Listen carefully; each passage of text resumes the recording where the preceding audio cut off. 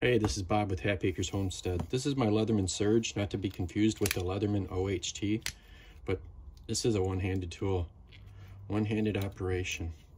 Two fingers wrapped around the top there, break it, you're done.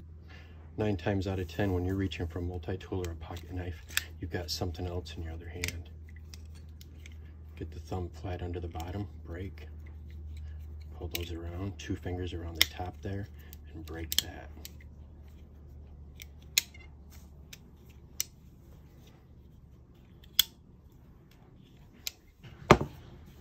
Got a three inch blade. You can interchange saw blades, metal, wood, or a file, and you can interchange bits. If your hands are a little smaller, you might prefer the wave, charge, or rebar. It's a very well made, dependable tool. Please hit that thumbs up and uh, go get yourself one of these. The link's right down below.